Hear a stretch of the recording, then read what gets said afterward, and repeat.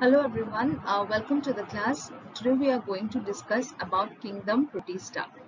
Basically kingdom protista includes what kind of organism? It includes your unicellular eukaryotic organism. Unicellular eukaryotic organism, right? So what is unicellular? Basically it is made up of unicellular is basically single cell. Eukaryotic is having true nucleus. Right? So this kind of organism it includes kingdom protista. Coming, these are the some examples of uh, organisms which belongs to kingdom protista. This is you see amoeba. This is paramecium. This is euglena, right?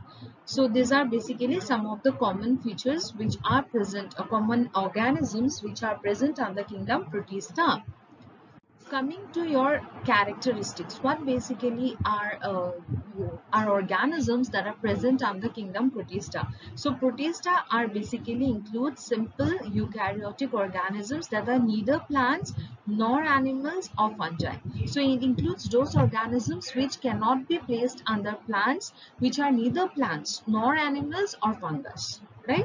So protista are basically unicellular in nature. Unicellular that means your single cell in nature.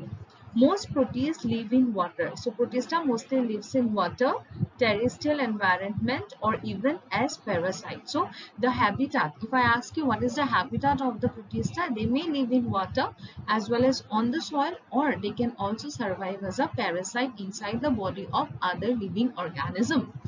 Some of them have some of them possess structure that helps in locomotion. Locomotion means what? Movement. Locomotion is basically your movement. So they have certain structures which helps in the movement of the organism. So these structures are nothing but your flagella or cilia. So these flagella or cilia are basically, if you see this is a structure, this one we call flagella. Right? So this is what we call flagella and cilia are also hair-like projections. Cilia are also hair-like projections.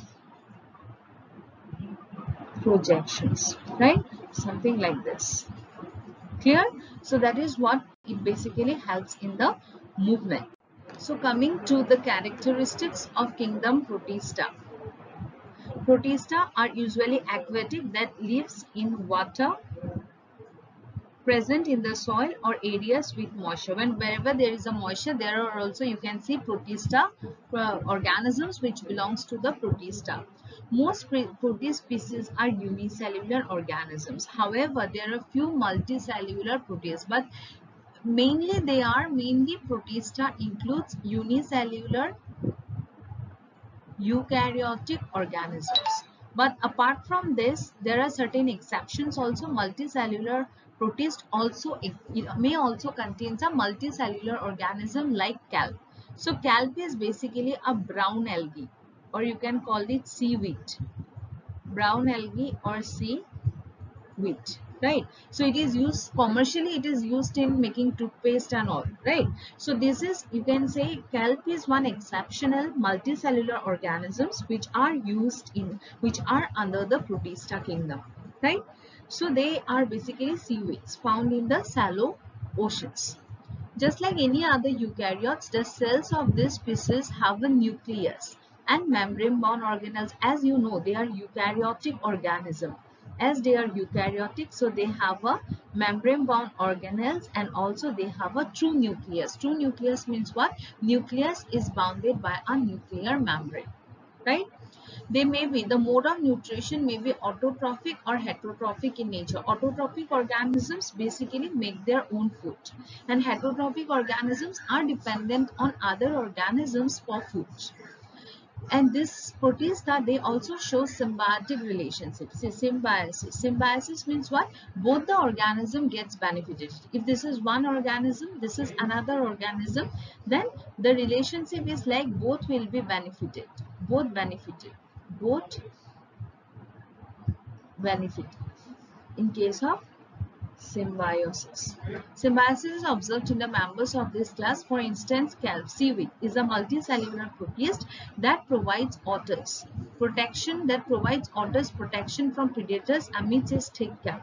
In turn, otters eat sea urchins that tend to feed on kelp. So basically this is a mutualistic relationship where a seaweed is protecting the sea otters. Sea otters are basically organisms. They are organisms. This kelp is protecting these otters from the predators or from their uh, you can say from those organisms which feeds the sea otters. In turn, what otters are giving to sea urchins? Otters eat sea urchins that tend to feed on kelp. Clear? So that is the mutualistic relationship.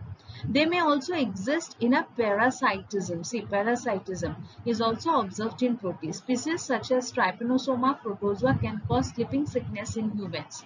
So this is a parasitism where one organism is benefited, another is affected, not benefited, right? So this parasitic is Trypanosoma protozoa. Protists exhibit locomotion. So they exhibit locomotion through cilia and flagella. Already I told you in the last slides. Apart from cilia and flagella, some have pseudopodia. Pseudopodia meaning composed of two parts, pseudo plus podia.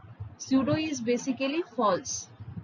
Podia means full. So they have certain, they have a pseudopodia that is false foot which helps in the locomotion. If possible, I'll show you one diagram protist reproduces by asexual means. So how they reproduce? They reproduces by asexual mechanism. The sexual method of reproduction is extremely rare and occurs only during the time of stress. So they undergo sexual reproduction only when there is a stress. So basically their mode of uh, reproduction is or asexual. Coming to classification of protists. So protists are classified as amoeboid protozoans, flagellated protozoans, ciliated protozoans and sporozoans. We'll see what is amoeboid protozoan. So these are basically found in water bodies, either fresh or saline. Saline is marine water.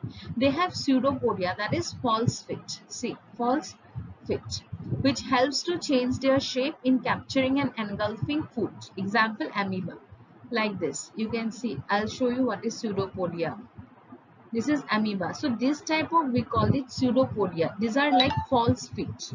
This we call it pseudopodia. These are false feet. Coming to flagellated right? Flagellated protozoa as the name suggests the members of this group possess flagella. So they will be having this is what we call flagella right? Flagellated protozoa. Coming to ciliated protozoa they have cilia all over their body. So this may be like this. They have cilia all over the body. That means what? Which helps in the locomotion as well as in nutrition. Sporozoa. These organisms are so called because their life cycle has a spore-like stage. Means why we call it sporozoa? Because in their life cycle they form certain spores. So what are spores? If you see these are certain spores they are present right? So they exist in sporous form. In their life cycle they come to a stage where they exist in the form of spores. So we call them sporozoans clear? So these organisms basically we call them sporozoans because during their life stage during their entire life cycle they exist as spores. The cycle has a spore like stage. See this is what we call spore like stage. You can see spore like stage right? If you see the developmental of malaria causing parasite right? They also exist in a spore form. That's why we call them sporozoans plasmodium falciparum right? So these are examples of certain uh, protista organisms. Coming to slime molds slime molds are saprophytic organisms. So saprophytic organisms are those, those organisms that feeds on dead and decay right? They these are tiny organisms that have many nuclei multinuclei are present. Usually slime molds are characterized by the presence of aggregates called plasmodium and are even visible to the naked eye. So they are visible through naked eyes. Coming to the economic importance of protists protists are primarily source of food for many animals. Obviously they involve they occupy the uh, very basic level in the food chain Protists are symbionts. Symbionts means both the organisms gets benefited. Some protists also produce oxygen and may be used to produce biofuel. Phytoplankton is one of the sole food sources for whales. Seaweed is an algae. Phytoplankton, I told you, it is present in aquatic organisms. Like plant is a plant form the basic food chain. Similarly, phytoplankton in case of aquatic organisms form the primary source of food. Seaweed is an algae which is considered a plant-like protist. Zooplankton is fed on various sea creatures including shrimp and larval crabs. So these are some of the economic importances of protist, right?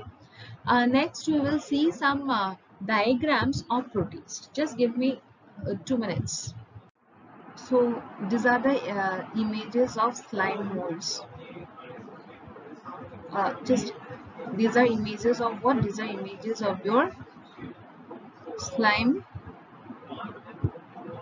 molds right? So this is how slime molds look like. So these are organisms which belongs to the kingdom protista uh, so this is the so we came to the end of the class.